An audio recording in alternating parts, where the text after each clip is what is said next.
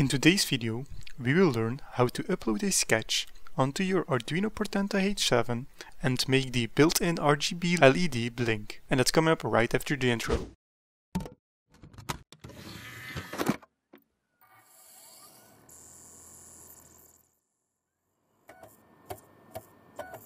Hello world, my name is Asali, meaning basic in the language Hausa. Today we'll learn how to upload your sketches to the Arduino Portenta H7. Let's begin by plugging in our Arduino Portenta H7 and opening the Arduino IDE.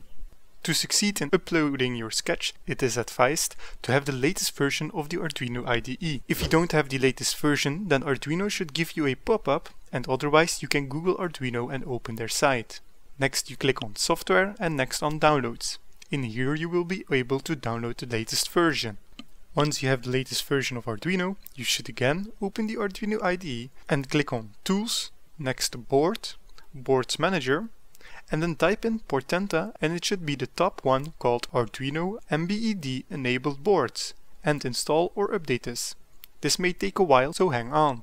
Let's next verify the USB connection. This is Windows only though, so press your Windows button and type in Device Manager and scroll down to Ports open this and and normally Portenta H7 should be on your screen or serial USB device COM3 or unplug your device and check if the device has disappeared or not.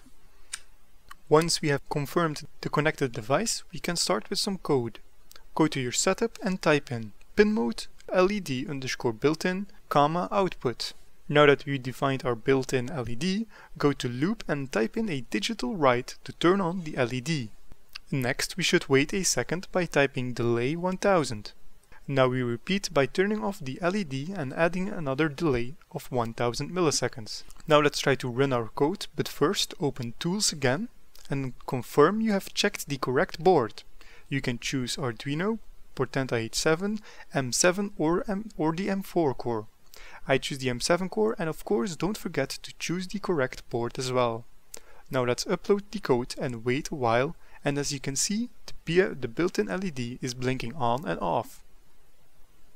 If you receive an error, I advise you to reinstall the board, replug your Arduino Portenta H7 and you can try to upload the sketch while the Portenta H7 is in bootloader mode. Just double click the reset button right here and the LED will start fading in and out and try to upload the sketch again.